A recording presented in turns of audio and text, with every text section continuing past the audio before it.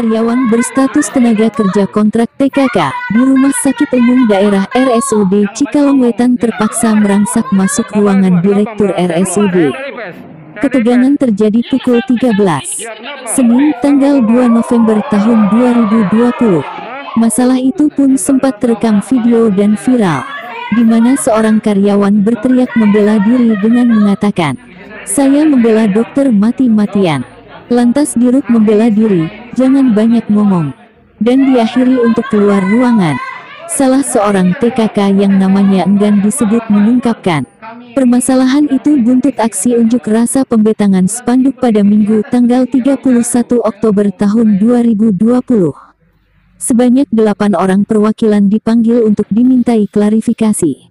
Mengetahui teman-temannya dipanggil oleh Dirut. Sebagai bentuk solidaritas ikut merangsak masuk ke ruangan direktur. Di sanalah terjadi ketegangan adu mulut antara karyawan dan direktur RSUD. Dipanggil delapan orang terus ditanya saha anu masang spanduk. Kekeh maksa pengen tahu siapa yang masang spanduk ya bilangin aja seluruh karyawan, kata TKK tersebut kepada ragam daerah. Senin tanggal 2 November tahun 2020. Dijawab seluruh karyawan yang pasang spanduk protes. Direktur RSUD tidak percaya siapa yang memasangnya. Nggak ada yang. TKK RSUD Cikalongwetan berjumlah 309 orang tetap menuntut haknya. Gaji dua bulan September-Oktober yang belum dibayarkan sebesar 5 juta rupiah. RSUD Lembang. Cililin kan udah pada cair kenapa Cikalongwetan selalu beda.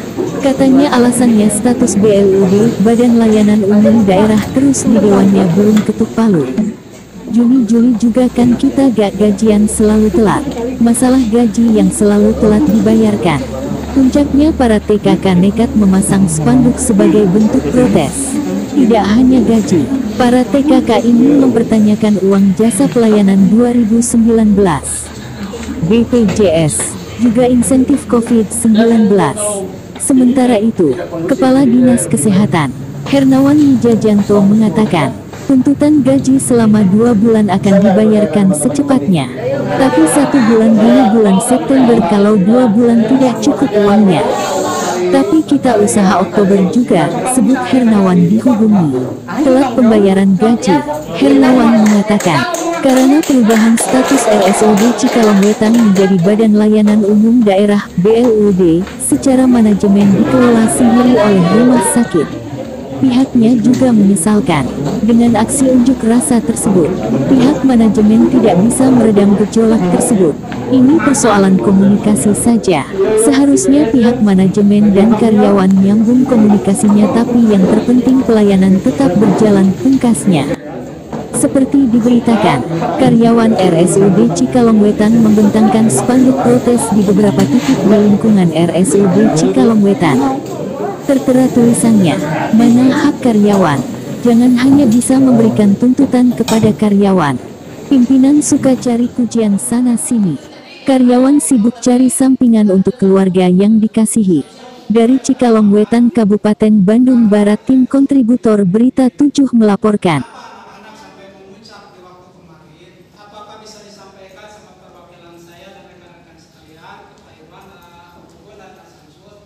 Kenapa ketika